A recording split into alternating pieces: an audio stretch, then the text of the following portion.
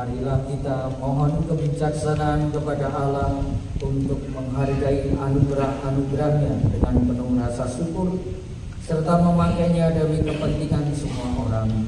Marilah mengatakan kepadanya, Tuhan jadikanlah kami bijaksana. bagi para pemimpin gereja.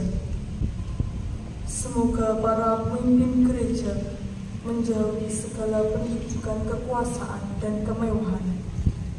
Dan bagi para pemimpin negara serta wakil rakyat, semoga mereka tak pernah mengorbankan prinsip-prinsip dengan maksud untuk mencapai kekuasaan, kesuksesan, serta kekayaan tetapi melibatkan diri untuk memajukan martabat manusia serta nilai-nilai Injil. Marilah berdoa kepada Tuhan. Tuhan jadikanlah kami bijaksana. Bagi mereka yang berkarya untuk media massa radio, televisi, film, surat kabar, dan media online.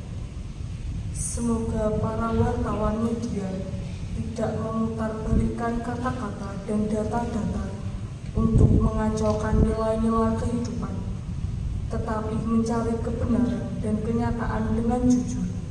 Marilah berdoa kepada Tuhan. Tuhan jadikanlah kami bijaksana.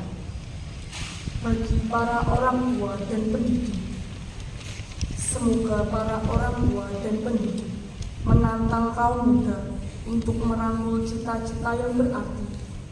Dan bagi kaum muda, semoga kehidupan kaum muda tetap dijiwai oleh idealisme dan kemurahan hati. Marilah berdoa kepada Tuhan. Kami.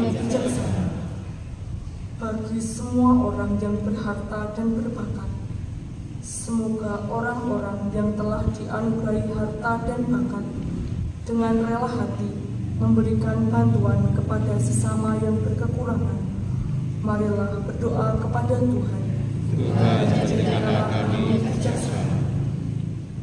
Bapa yang Maha Baik, dalam perayaan Ekaristi malam hari ini, dengarkanlah doa-doa yang kami munculkan kepadamu, teristimewa intensi-intensi yang kami doakan pada malam hari ini.